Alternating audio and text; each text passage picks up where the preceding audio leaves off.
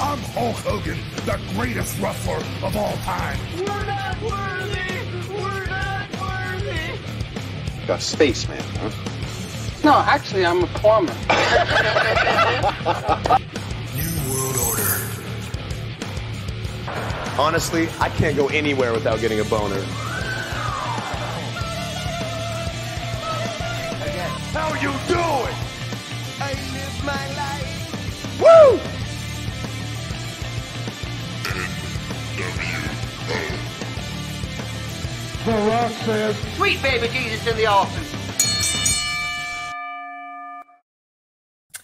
Hey, salut tout le monde, j'espère que vous vous portez bien à la maison.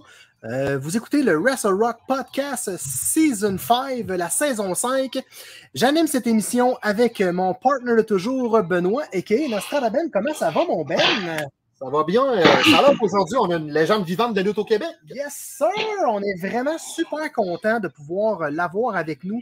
On sait qu'il est vraiment très occupé euh, par, euh, ben, bien évidemment, les bookings de lutte parce qu'il est en demande depuis des années, mais aussi par les tournages euh, de cinéma. On est avec Marc-André qui est Frankie the Mobster, The Beast King. Comment ça va? Ça va super bien, vous autres, les boys? Hey, bien, on merci. est vraiment content euh, que tu aies pu prendre quelques minutes avec nous. On sait, comme je viens de le dire, que tu es hyper occupé. Puis, tu sais, euh, on a réussi à, à- à se parler quelques fois. Tu étais aux États-Unis pour, euh, pour des, des tournages, tout ça. On t'a vu dans plein de projets au Québec, euh, à la télé, tout ça. Donc, on, on est vraiment content que tu puisses prendre quelques minutes avec nous pour qu'on puisse parler de ton parcours des débuts jusqu'à aujourd'hui. Écoutez, on a, on a quelques minutes avec lui. On pourrait, on pourrait en parler pendant 3-4 heures, mais on va y aller quand même assez euh, rapidement. Donc, euh, tu peux euh, commencer tout de suite. euh, mon on va faire ça. Yes, sir. Vas-y, Ouais, Ben. Marc. Ouais, pas de trouble. Oui. Tu as débuté à la NCW et tu as été entraîné par le Oui. grand Marc Le Grizzly. Euh, Oui. Combien de temps ça t'a ça t'a pris? Combien de temps avant d'être régulier à la NCW? Combien de mois d'entraînement? Mon Dieu. Euh, ben oui, j'ai pas nécessairement officiellement commencé avec la NCW. J'avais commencé à la ACW, à Valleyfield, en 80. À Valleyfield, euh, par. euh, j'avais pas eu d'entraînement formel. J'ai suivi mon ami Black Eagle, Sébastien Ricard, et mon ami Steven Sicard, qui faisait Raiden, mon partenaire. Oui, oui, oui, Et, on va euh, parler tantôt. Absolument. Par la suite, euh, Marc Le Grizzly était venu assister à un des galas de la ACW qui, était, qui avait été orchestré dans la ACW par Night Stalker. Toi, Jonathan, tu l'as connu. Ben oui, Ouais, ouais, Luc ouais. Beaulieu, ben oui. Oui, absolument. Oui, Luc Beaulieu et Steve Ace aussi, qui lui est toujours euh, en action de façon sporadique un peu à travers la province, qui, qui roule encore sa bosse. C'était les deux euh, gestionnaires principaux de la compagnie. Le Grizzly est assister à des galas. Il y avait un certain potentiel en moi de par mon énergie, euh, ma facilité à interagir avec le public. Puis, euh, il m'a donné euh, l'occasion et l'opportunité pouvoir aller m'entraîner avec lui dans un lieu plus, euh, plus adéquat, plus concret, avec euh, d'autres mondes inexpérimentés qui rêvaient de, pouvoir s'adonner à lutte professionnelle. Puis, c'est ça, une chose amenée à l'autre. Ça a déboulé jusqu'à ce qu'on en est aujourd'hui, plus presque 28 ans. C'est fou, pareil. Hein? Tu as débuté ta, prestigieuse euh, carrière euh, en équipe euh, où tu formais avec ton partenaire de l'époque, Raiden. La Mhm. Cosa Nostra, est-ce que tu veux nous en parler? Bien sûr, la Casa Nostra, c'est un nom qui nous a été attribué par Bertrand Hébert, grand génie, un des meilleurs, euh, des meilleurs scripteurs de l'histoire de au Québec, qui est toujours impliqué dans le milieu. Maintenant, il est plus euh, en, en retrait, il écrit beaucoup de livres en collaboration avec Pat Laprade. Yes. Il y a une très belle plume, il y a un- des- une très grande culture de la lutte générale et de toutes les sphères qui s'y rattachent. Puis, il avait un très bon œil pour euh, déceler les particularités, les, les- les talents particuliers, devrais-je dire, excuse-moi, de chacun des lutteurs. Moi, il a vu la personnalité exubérante, puis j'avais m'étais fait attribuer le nom de Mobster par Night Stalker, qu'on a mentionné euh, un peu plus tôt. Puis Bertrand voulait un prénom qui s'y rattache pour pouvoir le scander. Un prénom facile à scander qui était facile en bouche. Sais, je veux dire, s'il avait dit Anatolie, ça se compte mal quand tu veux partir un chant. Anatolie, moi, peut-être. Mais, voyez, Frankie, c'était deux syllabes, c'était très simple. Phonétiquement parlant, c'était très concret. Puis, il m'a titré ce nom-là, puis c'est resté avec le temps. Le, le, nom Mobster fonctionnait quand j'ai commencé parce que euh, j'avais un, un, long trench coat en cuir, un petit fedora, qui étaient tout simplement les morceaux que j'avais trouvés chez moi de, de, de vêtements qui, dans ma tête, faisaient le plus costume de lutte. C'est oui, oui. Puis Steven Raiden, oui. euh, on en faisait de la lutte chez lui dans le sous-sol, sur des okay. gros matelas. on, on, on aimait. Ah, mon Dieu, à partir de secondaire, je veux dire trois, deux, trois.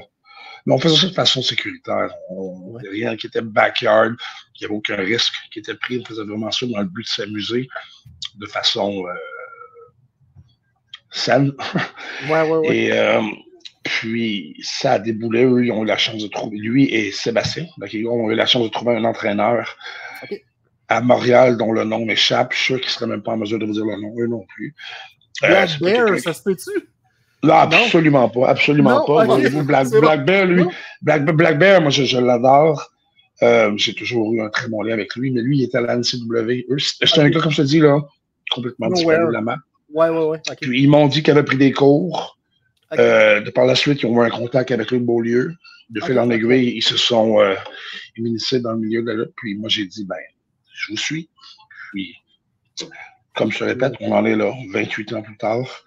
Un corps tout brisé, des, des, ouais. des, des, milliers de dollars dépensés, mais des, milliers, des, des, des, des dizaines de dollars euh, gagnés. c'est ça, pareil. Ouais, la lutte au Québec, c'est ça, malheureusement. Oui, tout à fait. Oui, mais... Ouais, Frankie, euh, on sait que tu as fait beaucoup de try-outs, ben, quelques try-outs à WWE, puis on comprend pas pourquoi tu n'es pas à WWE avec le potentiel que tu as, le charisme que tu as, on comprend pas pourquoi tu n'es pas dans le main roster de la WWE. Euh, pourquoi? Il y a plusieurs facteurs. Le, le, facteur primaire, il y a des très mauvais choix de vie de ma part. Puis, okay. il y a, il y a euh, comment je dirais, il y a toujours des circonstances qui peuvent être un peu ouais. euh, atténuantes par rapport au fait que je n'y suis pas. Mais après ma barre, quand quelqu'un ne réussit pas dans ce milieu-là, c'est la seule personne à blâmer. Parce que ça prend un, ça prend des couilles, ça prend un abandon total à ton art, à ta passion. J'ai été peu heureux dans le sens où, à, à l'encontre de, mettons, Kevin et Sami Zayn, qui eux ont tout laissé. En fait, j'y vais, je vais, je pars. Ouais. Je tente ma chance. Dans, dans, dans, dans, dans l'inconnu, je vais, je vais crever de faim, je vais dormir sur des tapis, je vais dormir dans des aéroports. Je suis peut-être un peu trop douillet, princesse. Je voulais pas. Et j'ai une peur incommensurable du refus, du rejet. Okay. J'avais peur de, de m'aventurer et que ça ne fonctionne pas. Maintenant, après toutes ces années-là, parce que je, je, le regrette, une partie de moi, oui, mais une partie de moi qui, qui, qui croit fortement que l'expression un peu banale de tout, il n'y arrive pour rien. Il y a d'autres sphères artistiques que j'ai pu explorer à travers tout ça, qui se sont dérivées de, des interprétations du travail artistique que j'ai fait à travers la lutte qui m'ont donné des belles opportunités. Maintenant, est-ce que c'est plus facile, je te dirais maintenant, d'avoir action de ou, ou, tout au moins de pouvoir euh, présenter ton matériel. Dans le temps, c'était des VHS. Tout des fait. photos. L'accès à l'information. Avec, euh, exactement, exactement. Puis, il y a, mon Dieu, la, la, la, la librairie de, de matchs qui est assez euh, extensive de ce que oui, c'est un anglicisme, ça, extensive, euh, de, de, de, de, du matériel que je vais faire, donc ça serait peut-être plus simple. Mais là, maintenant, je, je vais avoir 45 ans dans deux mois. Ouais. Okay, okay. Et il y en a, vous allez me dire, qui sont WWE, qui sont dans ce groupe d'âge-là, mais ça fait des décennies ou minimalement 5-6 ans qui sont des figures pro dans le milieu de la lutte télévisuelle, alors que moi, il faudrait que j'y sois présenté. Si on fait un de, de, de, des mathématiques très simples, advenant que je, je fasse un contact avec la WWE, on me donne une chance de signer NXT établir le personnage, même s'il prend en feu rapidement, c'est 5, 6, 7 mois. Oh, je, je, me ramasse à 45 ans, presque 46. le personnage est établi, tu veux l'amener à la télévision, maintenant à, à Raw ou à SmackDown. Je me ramasse à, à, 40, à 46 et demi, 47 ans presque. J'ai, et ça marche. Tu peux faire des sous. Mais pour combien de temps? D'un point de vue propriétaire, propriétaire d'industrie, est-ce que ça vaut la peine d'investir ou de, de mettre, d'investir ou de, d'impliquer, de, de mettre tout le support d'une grosse machine de marketing WWE sur quelqu'un qui va me rapporter des sous, mais seulement sur une très brève période? Il ouais. faut pouvoir que, faut penser à un investissement à longue haleine, et je pense pas que ça le serait. Et j'ai eu des try-outs, il y en a un, le premier, euh, qui était pas nécessairement très bon en 2006. La journée même, sur mon chemin du retour, j'aurais pu faire un suivi, j'aurais pu les harceler, chose que j'avais dans le déferme de faire. Mais euh, mon grand frère s'est suicidé la même journée. Oh shit, oh shit. Donc, mon, mon, ma priorité euh, émotionnelle n'était pas à la, au, au suivi d'un essai de ben J'y suis retourné en 2008 pour un deuxième. Euh, c'était où? C'était à Toronto. Toronto. Et là, c'était le gros, le gros incident de. C'était suivant le, la grosse tragédie de la famille Benoît. Ah, ok. Benoît. ok. Ouais, ouais, ouais. ouais, C'était 2007, ça. Oui, c'est ça. 2008. 2008. Oui, 2008. Ah, ben, ça se Ouais, ben, ben c'est pas longtemps. Non, non, je, je, je t'ostine pas. Là, c'est ça. puis, euh, puis, puis, puis, euh, il y avait un gros, euh, un, un, gros embargo par rapport à la gestion des stéroïdes et des suppléments. Ouais. J'étais bien évidemment, j'en utilisais à ce moment-là. Okay. Mais il y avait la, la, batterie de tests qui avait été attribuée ou qui avait été forcée aux dirigeants de la WWF d'appliquer à leur euh, talent. Ouais. À, euh, je ne pourrais pas vous dire qui exactement était responsable de cette pression-là. Il y avait le gouvernement, il y avait peut-être le DEA, le Drug Enforcement Agency, les compagnies de, de, de, de gestionnaires de, gestion de tests euh, qui sont la chose olympique, je ne sais pas. Mais je suis arrivé là-bas, puis on m'a dit que, on m'a demandé si je pouvais des stéroïdes, j'aurais dit bien sûr, c'est de la lutte professionnelle. Puis, euh, peut-être que c'est moi qui le voyais de façon beaucoup trop simplifiée. Ouais. Mais ils m'ont dit qu'avec euh, tout ce qui serait bien, en, en, en, peu de mots, ils m'ont dit qu'ils ne pouvaient pas m'utiliser parce que je pouvais consommer des stéroïdes. Okay. Je suis retourné en 2009, clean, complètement purifié, si on veut, des, de l'utilisation ouais, ouais. Puis, euh, j'ai presque, je, je, devais avoir un dark match qui, okay en, en, voulant rester modeste, je pense que ça aurait été l'opportunité pour moi de vraiment montrer ce que je suis capable de faire parce que tu me fais pratiquer dans un ring sans public, il n'y a aucun intérêt pour moi. La lutte, pour moi, c'est l'interaction, l'alchimie que tu crées ouais, avec Ah, ben oui, ouais, ouais, avec les... C'est normal. Et surtout, surtout pour moi, la lutte dans le ring, c'est correct, ça se fait, c'est intéressant, mais j'entends pour en tester parce qu'il m'a vu aller. Moi, c'est avec mon public que j'ai du plaisir. C'est ça. Je pense que la, la richesse de, de, ce que je peux apporter, la richesse que je peux apporter à ce milieu-là vient à mon interaction avec le public, la connexion. Je suis capable d'avoir l'alchimie que tu crées avec la clientèle. Puis, euh, ça se fait pas ça juste devant des sièges. Ben ben Puis à la seconde, euh, cinq minutes avant même, le, le, match avait été planifié, cinq minutes avant même d'y aller, on m'a dit que ça changeait, que c'était pas moi. J'étais à côté du rideau là, de SmackDown, puis je m'en allais faire un match. Puis on m'a expliqué par la suite en, en plus de mots, là, de façon plus élaborée, que mm -hmm.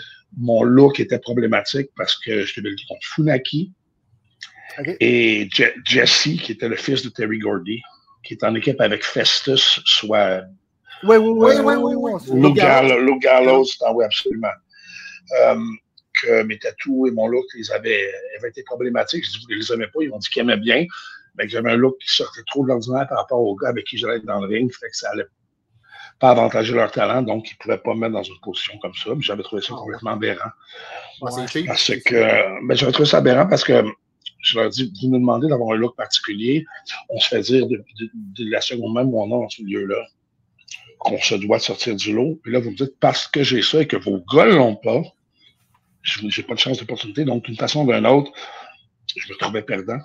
Et ça, je t'avoue que ça m'a donné un gros coup au niveau de la motivation de la ouais, et de la stimulation de vouloir me dévouer à ça. Puis j'avais néanmoins contacté, euh, fait un suivi par la suite, puis je m'étais fait rabrouer par Johnny Ace.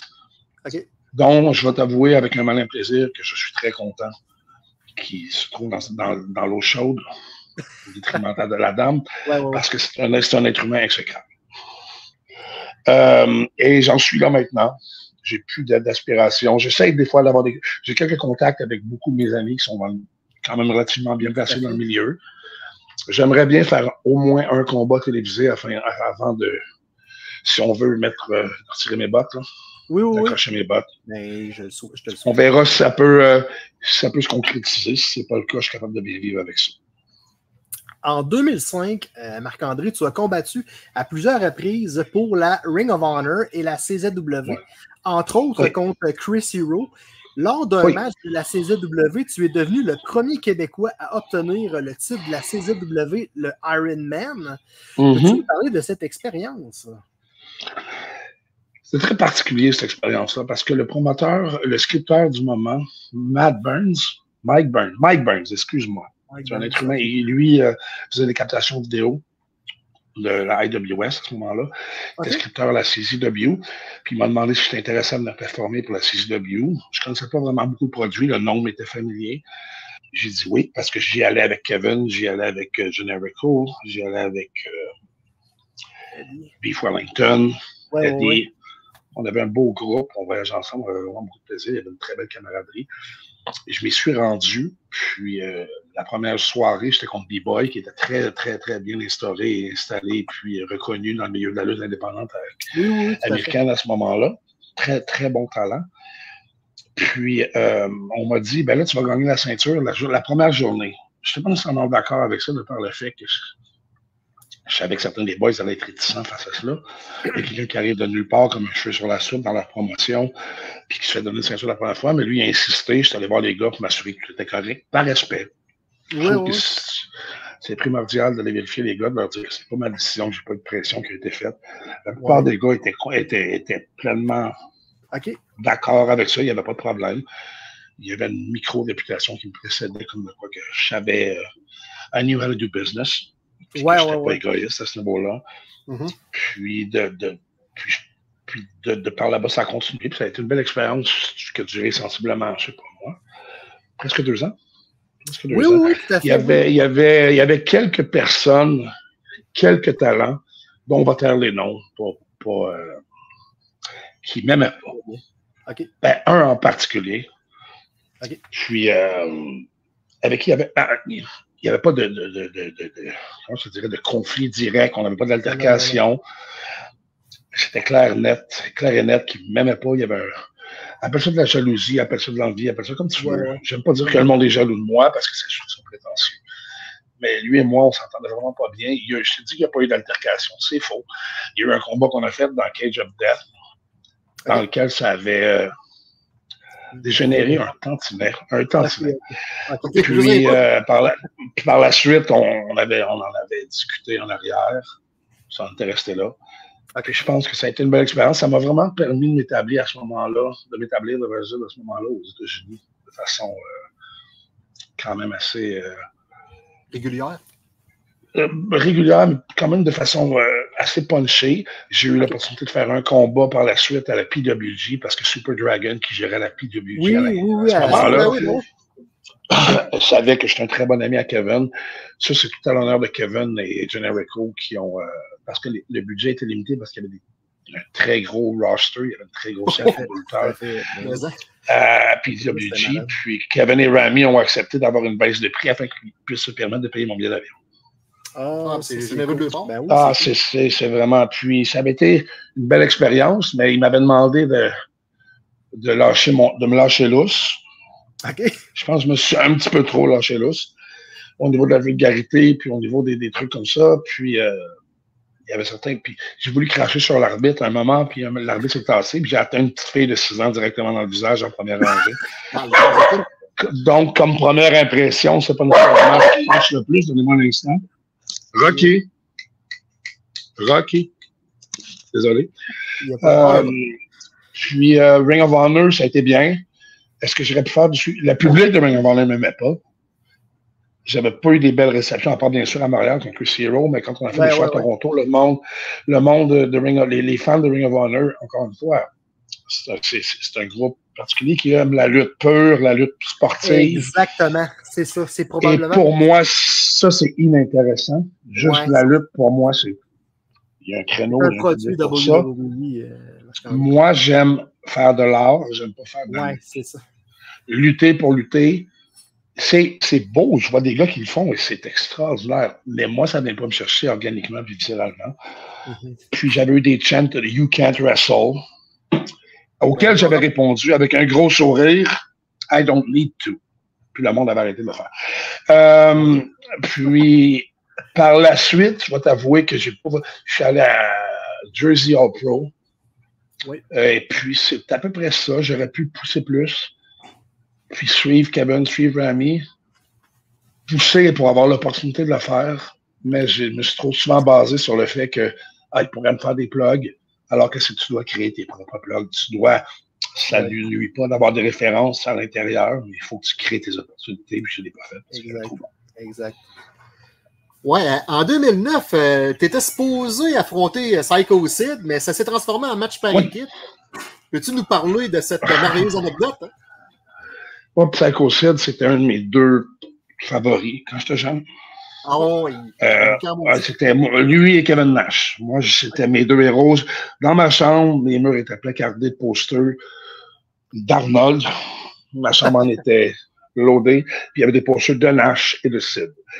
Euh, là, Devin Nicholson, Hannibal Nicholson, psychopathe de première, sociopathe de première, qui, euh, avec qui, par contre, moi, j'ai jamais eu de problématique.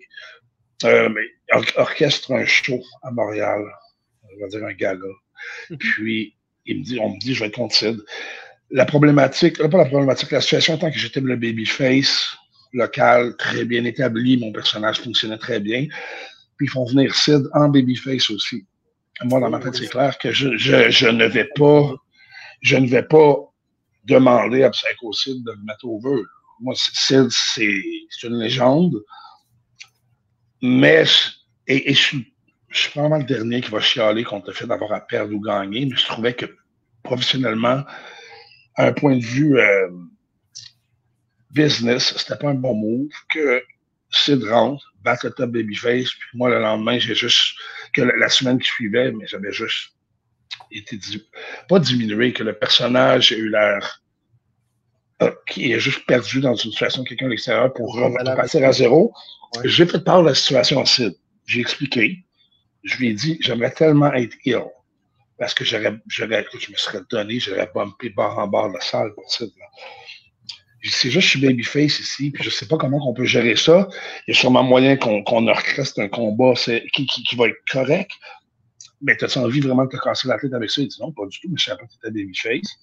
Puis on en est venu à l'idée que les deux psychopathes ben, décident de se mettre en équipe Ouais. pour donner un bonbon, euh, euh, donner le payoff officiel que les deux psychopathes, à la fin, les deux, les deux espèces de têtes brûlées viennent à collaborer. Puis le monde soit content, les deux paraissent bien, tout le monde est content. C'était beaucoup plus simple. Ça s'est, fait de façon très, très rapide et impromptue. J'ai demandé, j'en ai parlé au promoteur qui était là. Ouais, mais là, c'est pas ça que je voulais essayer de dire. Ouais, mais c'est ça qu'on fait. Et puis, euh, là, je suis allé voir euh, Anson GF, extraordinaire, avec c'est très, très simple d'orchestrer la business. Suis allé voir Jeff Rassled, qui a une très belle tête de lutte aussi. Oui, oui. Ils ont, ils ont embarqué dans ça, on a, on, a- on a- on a organisé tout ça. Hein. Tu viens là, je te fais. Super. En 2010, lors de l'événement euh, Gold Rush de la Maximum Pro Wrestling en Ontario, tu as participé à un match où tu étais euh, le partenaire par équipe de Kevin Nash. Mhm. Comment ça s'est passé euh, de devenir un outsider pour une soirée? Écoute, ça reste à ce jour, pour moi, le moment le plus cool de ma carrière de lutte. Ouais. Ben, un de tes idoles. c'était loin d'être un match de qualité, c'était exécrable. C'était pourri, là. C'était pourri. Mais de faire une entrée, de, de rentrer, puis de se craquer, de faire le bras dans les airs comme ça, puis d'avoir Ah. Kevin Nash qui arrive à côté, puis qui fasse, de le faire en même, même temps, j'avais des frissons, là. J'ai, quand j'ai fait mon entrée, je me suis retourné, était à côté de moi, j'ai dit, ça se peut pas. ça se peut pas. Il est vraiment là, là. Puis J'y arrivais à l'épaule. J'avais l'air d'un enfant de 6 ans. C'est, c'est C'est magnifique. Il est immense en plus. Oh. Ça n'a aucun, ça a aucun sens. Dans ce temps-là, il est encore très musclé. Maintenant, il a, il a Ouais, ouais. amoindri sa masse musculaire pour euh, l'aider à récupérer de, de diverses, de multiples blessures au niveau de ses, de ses genoux, qui ont vraiment Ah oui, volé tout le long de Puis, euh, moralement, présent, dans les dernières années, il a pris beaucoup un coup avec le décès de, de son fils, Oui, oui, oui. celui, celui de Scott Hall. Ah oui. Excusez-moi. Ah. Donc, euh, oui, ça, ça a vraiment été la plus belle expérience. J'ai eu la chance, j'ai eu le, le grand, le grand privilège, je devrais dire, de travailler avec beaucoup de monde établi dans ce milieu-là. Qui, beaucoup de monde qui ont eu des parcours très riches et intéressants.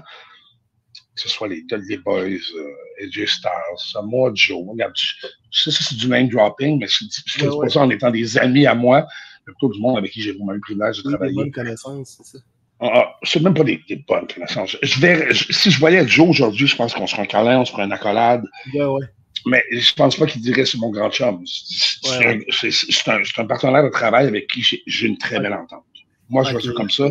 Ouais, ouais. J'ai pas la, la, la prétention ou la, l'illusion que tout le monde, on est des amis. là. Ça, ça- Non, il y a c'est beaucoup de monde. Et c'est malheureux parce qu'il y a beaucoup de monde dans ce milieu-là qui commence, qui pense qu'il se forge un contact quand il y a un match avec quelqu'un, mais ça reste que c'est un lien professionnel. Exactement. Euh, c'est triste à ce milieu-là. Il y a beaucoup de monde qui est dans la lutte, puis à partir du moment où ils lâchent la lutte,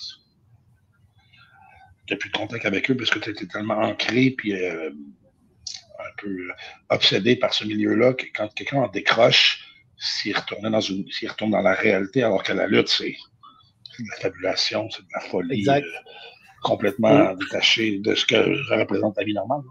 c'est ça. Puis, euh, mais ceci dit, j'ai quand même des très bons, des très bons liens professionnels avec beaucoup de gens. Puis ça, ça en découle. J'ai tellement des belles choses qui ont sorti de ma carrière de lutte. Des belles, des, belles opportunités créatives qui m'ont été données que je pense, dont, dont je pense j'ai, euh, j'ai tiré le maximum que je pouvais au niveau artistique. Puis je pense qu'il y en a d'autres. Il en, euh, reste, il, en, il en reste, il en reste moins qu'il y en avait, en a de fait. Ben, j'imagine. là. Puis au niveau créatif, par exemple, on, on te voit de plus en plus à la télévision.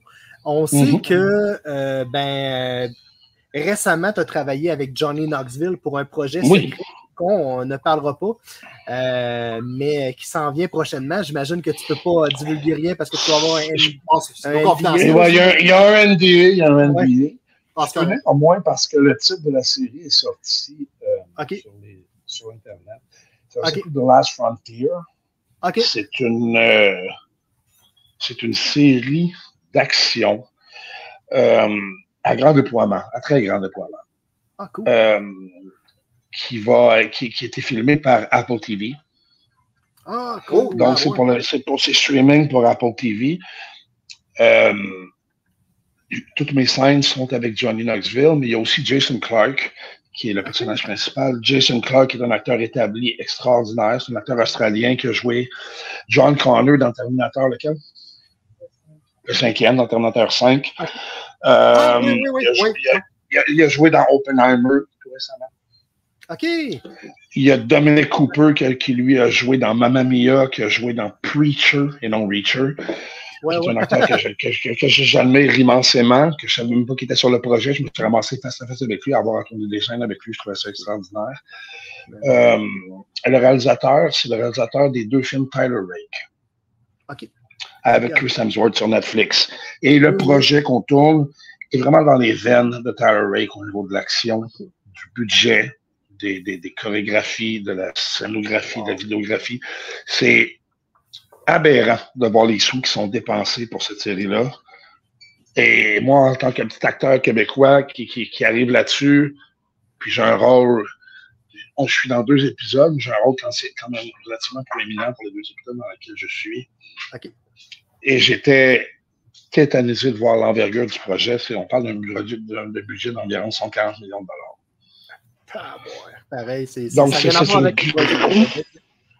Non, il y a, il y a une certaine, il y a- sauf qu'il y a d'autres richesses, il y a, une- il y a d'autres richesses au niveau des produits québécois pour lesquels j'ai eu la, pour lesquels j'ai eu la grande chance de tourner.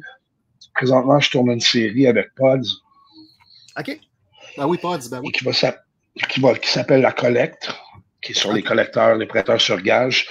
J'ai la grande chance de, de, de, de partager des scènes avec Guy Nadon, Claude Legault, Bobby Ouh. Caroline Néron. C'est un gros, gros, gros casting et c'est beaucoup, c'est beaucoup plus personnel. L'écriture est beaucoup plus riche, c'est beaucoup plus recherché au niveau scénaristique que peut l'être un produit comme Last Frontier, qui est beaucoup plus axé sur le visuel et le rythme. Mhm. J'ai, euh, eu la chance de tourner dans un autre film québécois que, dont je ne peux pas divulguer des, des, des, euh, pas de problème. les détails. Puis j'ai un autre petit truc que je dois tourner dans une semaine avec euh, Rachel Badouri. Ah, cool. Ouais. Cool, c'est très, très cool. On est vraiment Ça, contents. je suis vraiment très, très content, moi aussi. Et je me dois de le dire parce que je viens juste d'en avoir la confirmation. J'ai tourné un film il y a sensiblement un an et demi qui, est comme, qui a une très belle valeur pour moi qui s'appelle We Are Zombies. OK? Ça va sortir en salle le 17 juillet. C'est RKSS qui a, ça c'est un trio de réalisateurs, Johan Calwissel, euh, sa sœur et un ami François Simard, Yannick Wissel, excuse-moi, vraiment que j'avais oublié le nom de sa sœur, je me rappelle. Euh, qui eux ont fait les films We Are Zom- euh, qui ont fait le film Turbo Kid. OK, oui, oui, oui. Ben oui. Oui, et ils ont fait le film The Summer of 84. OK, OK. Wow. Et j'avais collaboré avec eux pour un vidéoclip de River de l'univers de Turbo Kid il y a sensiblement cinq ans avec Laurence Leboeuf. Et on s'était tout le temps dit que si on avait la chance, ben moi je leur avais dit si vous avez la chance, j'aimerais beaucoup travailler avec vous dans, le- dans le futur. Ben oui. Et là, ce projet-là s'est présenté et contrairement à l'accoutumée, je ne fais pas une simple brute euh, psychopathique. OK. Ça fait la changement? chance- ouais, on m'a donné la chance, on m'a donné la chance d'explorer, d'aller de démontrer de nouveaux horizons, de montrer un peu plus de, de profondeur de mon jeu. Ben oui, je, je- je leur, je, leur- suis éternellement, je, je leur suis immensément reconnaissant. Ben oui. Puis, euh, et le film, c'est pas parce que je suis dedans, parce que j'ai cette, euh, cette, honnêteté-là que je te dirais que tous les artistes ont. J'ai tourné dans des films qui étaient des films et des séries, appelle ça comme tu veux, qui étaient très mauvais. Euh, et celui-ci, c'est extraordinaire. Extraordinaire. Je l'ai vu moi-même, j'en avais les larmes aux yeux en riant. Ah, c'est cool. C'est à voir absolument. Et ça fait longtemps qu'on attendait la distribution. C'est toujours une problématique. Tu peux avoir fait le meilleur film que tu veux, avoir dépensé des sous de tes productions. Ouais. Si tu n'as pas de distributeur pour chaque marché que tu veux exploiter, tu t'es, t'es- t'es Ça peut être compliqué. avec un, t'es pris avec un excellent film que tu ne pourras pas distribuer. En bout de ligne, ça finit par être sur des sites de, de streaming. Mhm. Il a, été, il a été en streaming aux États-Unis sur, un, sur un- une page qui s'appelle, euh, un site de streaming de voyage qui s'appelle Screenbox, que tout le monde qui gère le site connaît, puis autre eux, pas vraiment. Euh, mais, maintenant, on a la chance qu'il soit. Je, je m'attends pas à une longue vie en salle, malheureusement, parce que c'est ça le cinéma québécois. Là. Mhm. C'était pas une, pas une comédie légère, euh, une comédie de mœurs légère ou une comédie de situation. Le cinéma québécois, va- euh, les cinéphiles québécois vont être, sont pas très attirés ou sont pas très curieux par rapport au cinéma de genre. J'ose espérer que ça, ça puisse briser un peu les règles parce que ce film-là est extraordinaire. Tout comme le film Bungalow que j'avais tourné il y a deux ans avec Laurence Côté-Collins, qui lui avait une, une belle exposition au niveau médiatique, qui était un cinéma de genre, qui était hors des hors limite de ce qui se fait normalement, je dirais, au cinéma québécois. Puis c'était, c'était un film qui était bouleversant, qui était si riche, si beau, si troublant. Puis là, ben, j'attends, on va voir, il va sûrement y avoir d'autres choses qui vont se présenter. Oui, euh, parmi les projets québécois, euh, dans les débuts des années 2010, euh, pas juste nous autres, mais les gens du Québec ont eu la chance, on a eu la chance de te voir dans le film La Ronne des frères Oui, Foucault. oui, oui, oui, oui, oui. Ben, Je suis encore en excellente. Ben oui, bien sûr. Ah Écoute, je suis encore en très bon, je suis encore en très bon terme avec, euh, en très bon terme. C'est un de mes meilleurs amis, Leonardo Fuica, qui avait scénarisé, qui est devenu aussi un des meilleurs amis de ma conjointe. C'est comme un, c'est plus qu'un ami. Leonardo, c'est plus qu'un ami, c'est un frère. La famille. Fuica, pour moi, c'est ma deuxième famille. C'est tous, euh, et voyez, vous voyez Leonardo qui fait l'alchimiste dans le film, celui qui est avec moi avec les tresses? Oui, oui, oui. Ah ouais, le, ouais, le ben oui.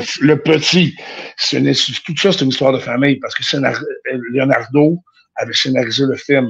Son frère a réalisé le film. Ah, ben là, Sa, ça sa, sœur était chef maquilleuse. Son père était chef accessoiriste. Wow. On avait son, son frère, son autre frère était accessoiriste aussi. Donc, euh, et sa mère s'occupait du, de, de la nourriture et du catering. Wow. Leonardo, c'est un passionné, c'est un, c'est un passionné qui va pousser ses, ses, ses passions à l'hystérie, même lui. Il, écoute, il se donne à 20 millions de pourcents dans chacun des projets qu'il fait. Très émotif, très tempestif dans toutes ses créations. Puis, je l'aime d'amour. Puis ce film-là, j'avais forgé un lien avec euh, Leonardo lors d'une production précédente qu'il avait faite avec son frère, encore une fois, ou dans lequel j'avais un rôle minime pour lequel on m'avait donné la chance d'auditionner. Je dirais que mon premier rôle cinématographique, c'est plus obscur, ça fait plus longtemps. C'est un film, je parlais tantôt du film de genre. Oui, oui, oui. québécois. C'est un gros film de genre, ça s'appelait La dernière incarnation. C'était pété, ce film-là. Pété, pété, pété. C'était wild, c'était encore une fois contre, loin, loin de tout ce qui était fait au cinéma québécois. C'était, il y avait de la science-fiction, il y avait de la comédie, mais c'était de la comédie absurde. C'était scénarisé de façon à mélanger tout le monde. Il allait loin, c'est un mélange de plus. Et ça se faisait pas au cinéma québécois. Puis je pense pas que le monde était prêt à ça, parce que c'est un film qui a une grande richesse. Mais il faut le découvrir, il faut lui laisser une chance. Puis euh, maintenant, la run, Léo m'a dit j'ai un rôle dedans pour toi, c'est Conan. C'est parfait, tu veux-tu dire non, non, c'est toi. Puis il y a d'autres acteurs qui étaient intéressés par ce rôle-là. Puis ils n'ont ont même pas eu la chance d'auditionner pour. On leur a dit ce rôle-là, c'est Marc-André, c'est personne-là. Puis, ben, avec Léo, c'est facile. Pour toi. Ben, t'es crédible plutôt dans le rôle. c'est ça. Ben, ça avait été, ça, avait été, ça avait été inspiré par moi, qui pourtant, je pense, je suis un petit peu plus sympathique que Conan dans la vie de tous les jours. Encore une fois, ce rôle-là était vraiment basé sur l'esthétique que je pouvais projeter, la coupe de cheveux. On, avait, on, a, on a essayé plusieurs styles pour la coupe de cheveux. Moi, je, voulais avoir des dreadlocks blancs. OK. J'avais même payé une, perruque de mes propres moyens qui m'avait coûté une fortune pour l'argent que je faisais dans le temps. Puis ça marchait pas, parce que la perruque paraissait trop à l'écran. J'étais déçu, je me suis ramassé avec une perruque pour absolument rien. Euh, mais là, on est allé avec le look, le look du Mohawk qui, mon Dieu, a marqué les gens parce que tu vois, lui, ça, fait, ça fait plus que 13 ans, là, ça. Puis je me fais encore immensément reconnaître par rapport à ce rôle-là. Le monde dit C'est Conan! C'est malade. Hey, ça fait déjà presque 40 minutes qu'on est avec toi, euh, Marc-André. Tu m'as posé quoi? Trois questions? Tu vois, ça, c'est moi. c'est ça, J'en ai posé, là. Écoute, je pourrais t'en poser encore plein, tu sais. Euh, juste avant de conclure notre entrevue, mm-hmm. on va te donner des noms, OK? Puis en mm-hmm. quelques, euh, quelques mots, simplement nous dire à quoi ça te fait penser, all right? Absolument. Parfait. Donc, le premier, Steve Austin. Dieu. Kevin Owens. Frère. Un frère, je ne peux pas dire juste un mot par rapport à Kevin Owens. Euh, c'est un frère. C'est le meilleur être humain que je connaisse. Super. MGF.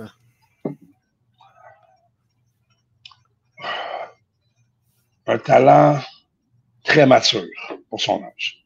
Oui, super. Dino Bravo.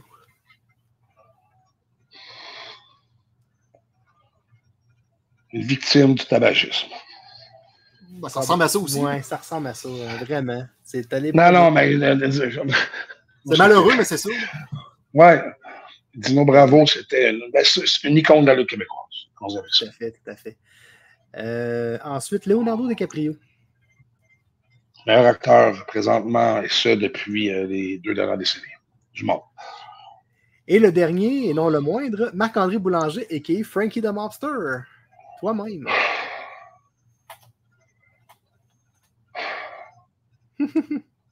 Un autodidacte dévoué qui fait son possible pour amener du bonheur dans la vie des autres. Vraiment. Et tout qu'un passionné. Honnêtement, oh. chaque fois que j'ai rencontré Marc, c'était toujours euh, gracieux et toujours, rempli d'amour et rempli de, un gars qui s'est Oui, c'est ça, tu sais, une personne humble qui, partage euh, ses, connaissances avec les autres. Puis, ça fait déjà 40 minutes que tu es avec nous. C'est vraiment cool que tu aies pu prendre euh, quelques minutes avec nous. Ça me fait plaisir. Un gros merci. Puis, juste en finissant, oh, comme à l'habitude, mon ami euh, Benoît, a.k.a. Nostradaben, c'est en fait à propos de. On a décidé de, l'appeler Nastradaben à cause de Nastradamus, bien évidemment. Et il prédit l'avenir de nos invités. Alors, euh, la parole est à toi, mon ami. Ah oui, ben merci Marc d'avoir passé 40 minutes avec nous autres. Euh, c'est sûr qu'on peut parler pendant des heures. Là. Yes. Ouais, Tu sais, tu as fait beaucoup de projets, bien, quelques projets aux États-Unis, mais à force d'en faire, je ne serais pas surpris que tu sois en nomination pour un Golden Globe à un moment donné.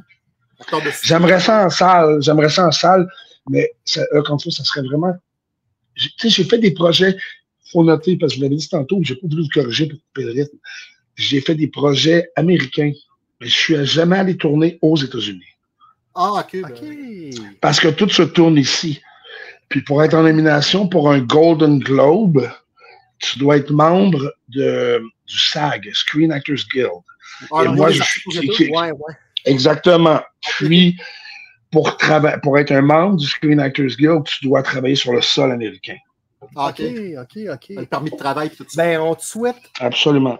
on te souhaite que tous tes projets se réalisent puis que ça soit un succès. De façon, chaque fois que tu touches à quelque chose, Ben ouais. ça fait, euh, ça fait des étincelles. d'artifice. Fait que on te souhaite la santé, le bonheur Merci. avec ton épouse, puis la famille, puis tout ça. On est super content que tu aies pris du temps avec nous autres. On sait que tu es super Ça fait plaisir, les boys. Plaisir. T'es super fin. Un gros merci. Merci beaucoup, On t'embrasse. Prends soin de toi. Merci.